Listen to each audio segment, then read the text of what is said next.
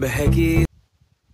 तो गई मेरा थमल देख के आपको पता चल गया होगा कि मेरा लाइव का फ़र्स्ट ब्लॉक है। और मैं राजस्थान से एक छोटे से गाँव से हूँ मैं। और मैं भी एक ब्लॉगर बनना चाहता हूँ आपका प्यार और सपोर्ट से। प्लीज़ उम्मीद करता हूँ कि आप मुझे प्यार और सपोर्ट ज़रूर करेंगे। वीडियो अच्छा लगे तो लाइक और कमेंट सब्सक्राइब ज़रूर करना।